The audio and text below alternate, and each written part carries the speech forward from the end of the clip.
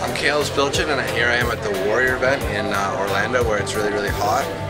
Really, really hot and I'm getting some good networking at the Warrior event. So it's great value because you get to meet lots of good people.